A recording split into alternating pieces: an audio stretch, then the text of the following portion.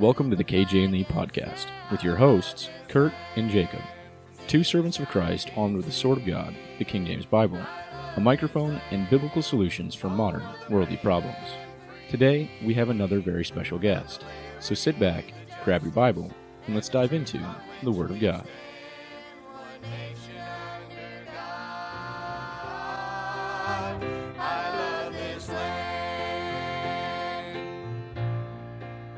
Hi, and welcome to another episode of KJ&D with your host Kurt and myself Jacob. Today we have another uh, special guest, another missionary, uh, Brother David Merlo. He's a missionary to Argentina. Brother Merlo, how are you? Good. How are you guys doing? Saved and on my way to heaven. Amen. Amen. Amen. Doing great. So, um, as as we just mentioned, you're you're a missionary to Argentina. You're you're a guest speaker here at our church today. Um, but let's let's get to know you a little bit. So, where are you from, and and you know what church are you out of from? Sure. So I was uh, born in Missouri. Um, my parents kind of moved all over as a child. So I lived in Washington State, lived in the state of New Mexico, lived in Oklahoma, and then when I was eight, my parents uh, went to the mission field of Argentina. So I was raised on the mission field, um, and I loved it. I loved growing up on the mission field. Um, I really uh, feel like it was a blessing from the Lord. Um, sometimes people ask me, "Do you feel like you missed out on anything being raised in Argentina?" And I say, "No, it was a blessing. I enjoyed my childhood and would go outside and play, and um, that's really um, one of the the best memories I have is just making friends outside and uh, learning the language, making mistakes. Um, but then once I picked up the language, people didn't even know I wasn't from there. Wow. So You adapted really quick. You adapted were- you were really young. quick. Yes, You were sir. young. Um, I mean, I bet you missed out on a lot, but it's a good thing that you missed out on a lot. There's a lot of the world here in the states that probably you didn't have to be a part of. Yes, sir. Yes. So it, it was nice, but at the same time, it felt a little awkward when I would come back here because technology advanced so quick here, and I wasn't up to date on the latest technology or even on the latest movies. We were a, a couple years behind you Mm. guys. Uh, that's pretty amazing. Brother Merlo, would you mind sharing with us your, your testimony of your salvation? Sure. So, um, obviously, growing up in a Christian home, I uh, heard about Jesus ever since I was could remember, and I heard that I needed to be forgiven of my sins, needed to put my faith in the Lord Jesus Christ, and I did that um, as a young boy. But I deep down inside, I knew that I wasn't uh, sincere. I was Yeah. doing it more because this is what I'm told to do. Uh, but I was always afraid of dying.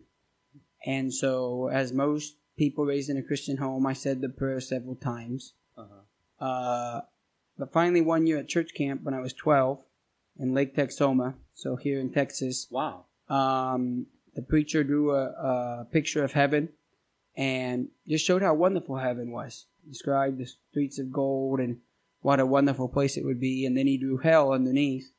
And that moment, I knew for sure I wasn't saved. Wow. And um, he gave the invitation, and I was teary eyed, kind of embarrassed to go forward because I'm the missionary kid, and that's what everybody expects me to be saved at 12.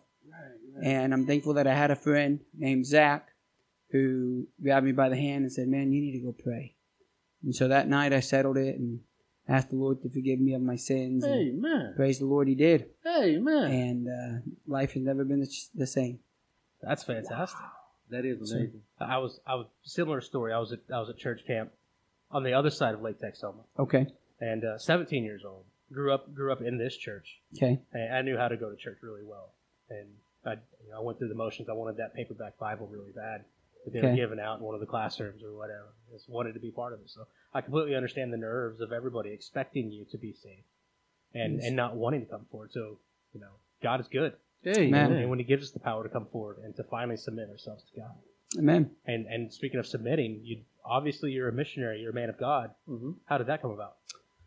So I knew I was going to go to Bible college, uh, but my mind I was just going to go for one year, um, then do something else. I wasn't for sure what. Well, after going for one year, the Lord really dealt with me about being in the ministry, um, but I wasn't really convinced yet to go to Argentina. In my mind, I was going to stay here, help out at a church, be an assistant pastor, Um, and that's exactly what happened. I graduated uh, in 2007, got married 2007, um, and in 2009, my family moved to West Texas to Odessa, and we did an internship, kind of two-year internship as assistant pastor. And it was during that time that God really began dealing with me about missions. Um, I was reading a book uh, on church planting by Bud Calvert, and one of the questions he asked in the book is, "Why haven't you considered going back to where you were raised?" Hmm. And so, like immediately, God just began dealing with me. You know, why haven't you considered going back to Argentina? You know the language. You have your paperwork. Your wife is from there. Uh, they need the gospel too, and you can tell them about me. And so, uh, then in my Bible reading, Romans, in chapter number 10 and verse 14, how shall they hear without a preacher? Mm-hmm. And that just really confirmed it for me. So this was in May of 2011. And by September 2011, we began traveling to raise support to go to Argentina. And by May of 2013, we were on the mission field. So it was it was the word of God Yes, that sir. pushed you into this, not that Odessa Permian Mojo. No, not the Odessa Permian Mojo. Absolutely not. Amen. God is, of course, God is good all the time. Amen. God Amen. is all powerful, and just to hear what He's done in your life and, and the souls that I'm sure the many souls you've touched in, in Argentina. How how how has your ministry grown since you've been there?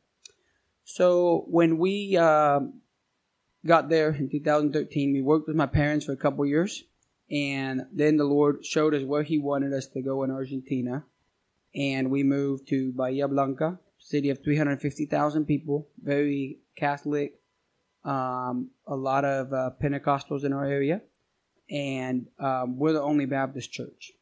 So at first it was awkward because people weren't familiar with us. Um, but slowly, God began to give us contacts, and He began to uh, allow us opportunities to show people who we were. And after about a year, people began to trust us because we didn't just open our doors and shut down. We actually stayed, and so we we have about forty people. Um, that would be Sunday night. Mm-hmm. Our biggest service in Argentina is the PM service. Wow. So they like to sleep in on Sundays. Of course, I think everybody does. But Wow. the American culture is go to church Sunday morning, and then Sunday night Yeah. you'll just have those faithful. Right. Well, there is the opposite. You'll have the faithful Sunday morning and Sunday night. Wow. And That's then if you have any visitors, it's going to be Sunday night instead of Sunday morning. How long did it take to get used to that? Um, it wasn't that hard seeing that I grew up there. Okay, I right, kind of right. already knew how it worked. Um, but now being since I was the pastor, uh, I expected everybody to be there Sunday morning too, right, and right, so right. it was it was difficult at first. That's amazing. Yeah, um, I just wanted to, to ask um, if you had any biblical advice, you know, especially you have a, a unique perspective uh, being in, in that uh, part of the world and also here in, in the United States. If you would have any unique biblical advice to give uh, American churches or churches here in America, just based on your perspective, uh, what, what would that be? Um, as far as biblical advice, in what area? uh, in the area of uh, soul winning, in the area of prayer, Bible reading. Sure, I would. Uh, I would just encourage you never give up. Mhm. Um, you know, and to do what God has called you to do. You know, He's Mhm. called us all to, to soul win. Mhm. And many times God doesn't allow you to see the person or to see those people who you handed a track to get saved. But it seems like God brings other people just from you being faithful Yes. and, and soul winning. Yes, yes, And yes. so keep on, keep on soul winning. Amen. And uh, don't be interested or concerned about the numbers. Oh, Leave it up to God. Amen. Amen. And just keep on praying for the lost. Mhm. Um, my wife did not grow up in a Christian home, Mhm. and her and her mom were the first ones saved at the age of 15. Amen. Amen. And uh, her dad was very stubborn Mhm. and didn't want to have anything to do with church. And uh, they prayed for her dad for several years. They prayed for five years before her dad trusted Christ as Savior. Amen. So I would I would encourage you to just keep on praying for that person and keep on living the life God wants you to be. Amen. Uh, because her dad came to know the Lord because of the evidence he saw in my wife and in his wife's life. Hmm. So people are watching you. Amen. No matter if you think they are or not, people are Your life watching is you. a testimony. Your life is a testimony. Life is a testimony. Amen. That is wonderful. and Amen. uh, you sound you sound a lot like one of the most common missionaries that we're all very familiar with. You wrote most of, most of the New Testament. Pray without ceasing. Yeah. It's exactly it's exactly what I'm hearing, and it's definitely something. Every time I see something that says that in Paul's writings, or or even that pops up that's similar, it, it's it, it's home every time. Because yeah, I pray often, but I don't pray enough. We can. I don't think I can ever talk to God enough. Sure, prayer is, is one of those things that uh, you can never have enough of, and you can always pray more. Um, so just always be in an attitude of prayer, and remember God is always available, twenty four seven, no matter what you're facing. Yeah, time time is not is a construct for us to, Mhm. to help understand, but it's it's a little bit different for God. Yeah, He's always available. Man, Amen. Amen. I was just looking at this uh, passage of scripture in First Peter two, the fifteenth verse. It says, "For so in the will of God that with well doing ye may put to silence the ignorance of foolish men." And so, with well doing, with, with people seeing, because like you said, people are watching you, and when they see the blessings of God in, in, in your life, then then you, you put the silence, hey, God God must be real. Look what He's doing in, in, the, in the lives of, of these people that I know. hmm Amen. yes, sir. Amen. Absolutely. I, well, that, that kind of brings up you know something that, that I observe and I have heard a lot. And even when, even though I was saved as a teenager, and I'm active in church now and into my mid to late thirties, um, you know, um, I, I submitted myself back to God. However, there was a time where I was I was I was fairly backslidden, and I had this phrase, just a worldly phrase, going through my head is, well, I can be successful without God. I can do these things without God. And sometimes it's hard to differentiate the success of the worldly and the success the success of, of the Christian. So for, for those worldly people that, that could possibly be listening that that don't have both feet in, in the church or, or with God in their Bible, what would you tell to them to to yeah, yeah, they may be successful, they may be doing it on their own, but what would be your advice for that person? Well, I think uh, in life in general, we need God.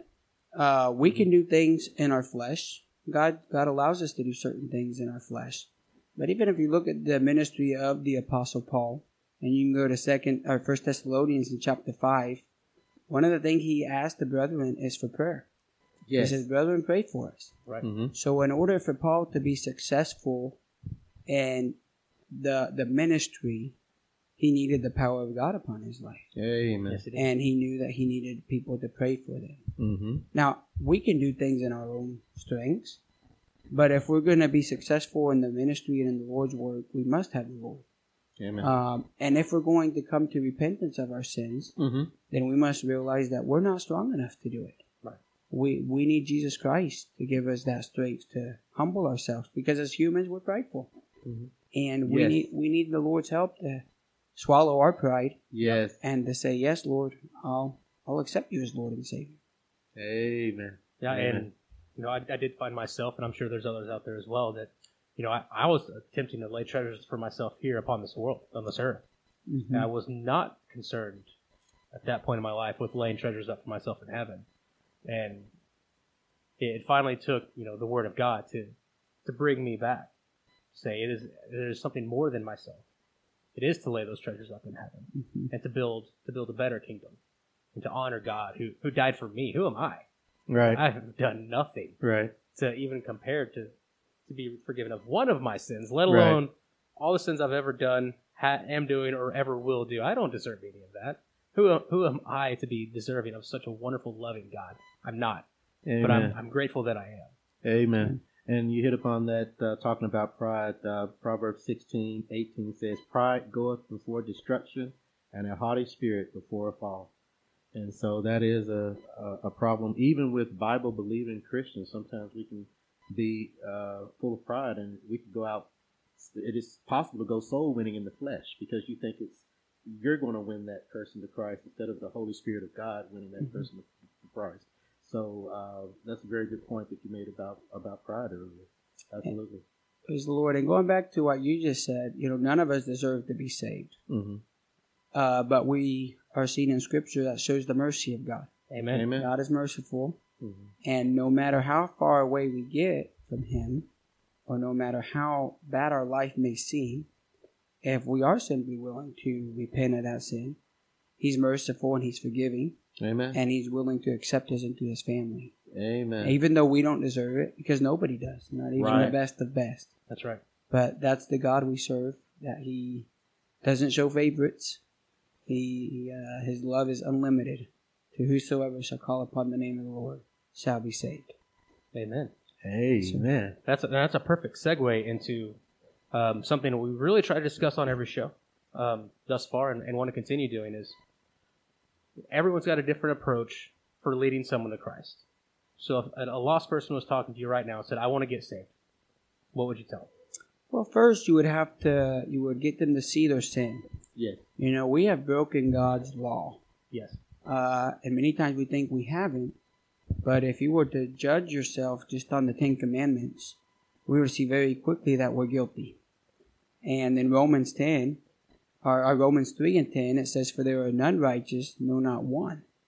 So, no matter how good a person we are, we've broken God's law. Yes. So we've offended a holy and a righteous God. Mm-hmm. But God has paid the price for us. He loved us so much that He died in our place because what we deserve because of our sin is death. Yes. That's yes. what we deserve. Right. And God, in His love, sent His Son to die in our place. And we need to repent and put our faith in Him. Amen. Amen. and he's willing to forgive. For if we're, uh, I can't remember exactly the passage, but it talks about that if we're um, willing to call upon him and repent of our sins, he's willing, he's faithful and just to forgive us of our sins. Amen. First John one nine. Yes, sir. Amen. Our walking Bible encyclopedia over here is Kurt. Appreciate the help. What's your favorite Bible verse or passage? um, you know, I would I would cling back to Romans uh, Romans 10 and Mhm. verse fourteen because that's the verse that God used to call me. How shall they hear Amen. without a preacher? That's powerful. See, that's one of the verses that just keeps me going when I'm down. Um, keeps me preaching the word of God. Uh, there's people that need someone to be a witness. Yes. Amen. Yes, sir. Yeah, and our everyday walk is a witness. You know, however we can reach the world. And we we've got so many different ways. We have podcasts, we have tracks, we have door hangers, uh, we've got online church for those that cannot leave because forsake yourselves not. You do need to go to church, but for those that can't get out of the house, of course, we have online church. Uh, we have so many resources for the world today to know Christ. So, unfortunately, there's there's not an excuse to not know God, to not know Jesus, and to have Jesus in your heart and go to heaven. And it, it, I feel bad for those, and I pray for those that, that don't have Jesus. And- Well, and- and in Psalms it says the heavens declare the glory of God. Amen. So even the heavens, you can know there's a God, Yes. and there's no excuse. no Yeah. excuse. Amen. Well, that's that's it. And uh, brother brother Merlo, we do appreciate everything that you do for for us and coming to visit and, Sure. and uh, you know telling us who you are and what you do, uh, telling us your testimony. We appreciate that. Amen. Um, we appreciate anybody who's a man of God Mhm. and is out there to save souls Amen. and make the world a better place through Jesus. Amen. That's what it's all about. Yes. And I, I love you and I appreciate you for that. Um, we do. uh, so again, just uh, give you some of your contact information here. I got Merlo A David eighty four. That's M E R L O A D A V I D eighty four at gmail.com. He's at a Southwest Baptist Church in Oklahoma City, and he's a missionary to Argentina. And I know I know the South American people, the Argentinians, are better for you.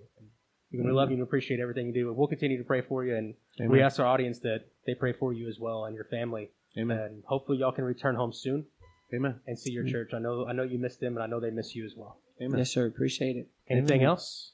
No. All right. Um, Brother Malone, would you like to take us out in, in prayer? Yes, sir. Amen. All right, let's pray. Father, we do thank you for this time to have this conversation. Lord, thank you so much for who you are. Thankful that your mercies are new every morning.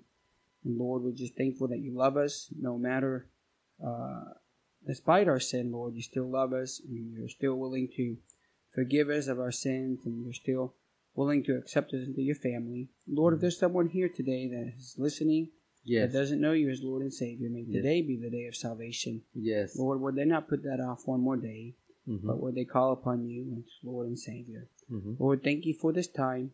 We pray that you would uh, watch over us, protect us. In your name I pray.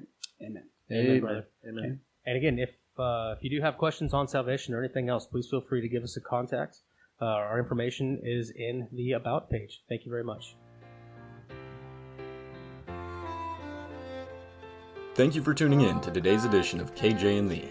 If you have any questions, comments, or concerns, feel free to email us at kjnb at gmail.com or send us a message on anchor.fm forward slash kj Lee.